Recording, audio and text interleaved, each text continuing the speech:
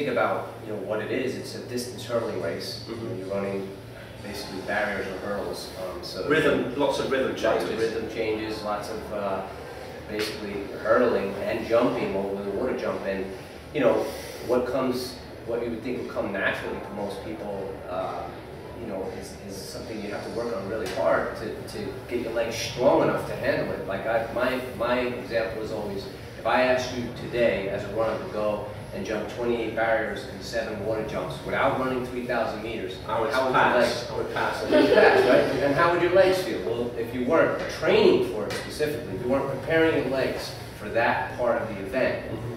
then how are you going to run 3,000 meters fast? You know, and a lot of people say, well, the Kenyans are not great hurdlers or they're not great technicians, and I always say, well, if you can run 730, then maybe you can afford to give up something on the technical end. Of things. So- Keino was the early practitioner, wasn't he? yeah, and you know, and I've run races with Kenyans, and they don't have great technique, most of them. But again, you know, they obviously have good leg power, and they're very, you know, they can afford to give up Strong cross-country base. Yeah. So anyway, but what we work on is just preparing the legs for that part of the race, and there's a lot of different drills that I've come up with, um, you know, from coming from a kind of neuromuscular and physiological background and a biomechanics background that, you know, uh, and, and being in the event that has helped me over the years. And, you know, I ran four Olympic trials, so, you know, I was able to learn a I'm, lot. I'm surprised you years. mentioned that, Tom, because you were fourth in the trials. Was it twice? I was fourth in '92 and '96. Yeah, so those were those were close ones. But uh, you know, I was able to do a lot of. Uh, I was on the world championship team twice. And, and- the point of it is, I Ran was eight able- sixteen. I did. I ran 8:16, 92 in the Olympic trials and didn't make the Olympic team.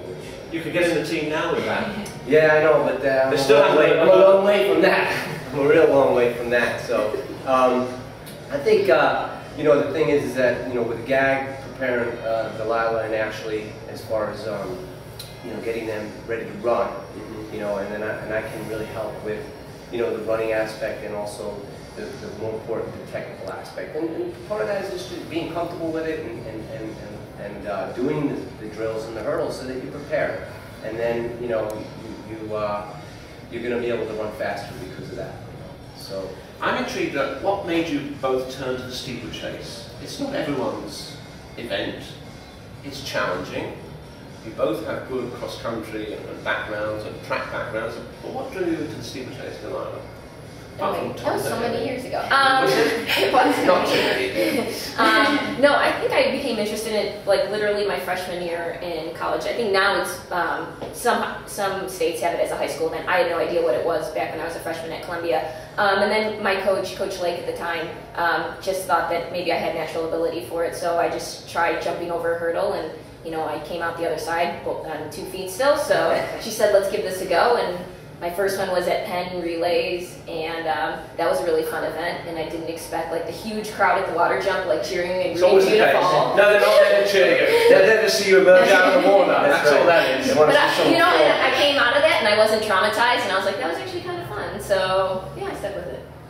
Ashley? Yeah, I started the steeple in high school actually. Um, it wasn't in our state championship or anything, but um, I just kind of pushed my coach and all the like Jim events. Yeah, Coach Slantz at Colts Neck, and I was like, maybe if I could convince you, like I could try the steeple at nationals. And so he said, okay, like we did a few drills and stuff. You got to race once before nationals, and I raced with this like little me. I had never water jumped in my life. I fell the first water jump I did, and I That's guess why the that's cameras were there. yeah, it's helpful to like fall the first time, and now I'm not as scared anymore. I guess it was a good like shock therapy into it, and then But I remember you ran, you ran the, you won the two miles outdoors in Greensboro. yeah, and then, And then you came back and ran the steeple. Yeah, Didn't you? yeah, and You ran the 4 by one mile relay as Yeah. well.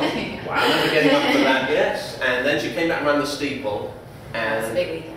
um, but uh, and I came in third, and it was two two k in in high school. So then I took a break from steeple. Peter Farrell and I, you know, we didn't want to start off with the steeple. Wanted to like get some good base and run the five k, things like that. Um, and I convinced him to get back to it my sophomore year at uh, Heps, and um, from then on, uh, Peter's kind of similar in that he kind of just puts a hurdle out there and he's like, okay, jump it.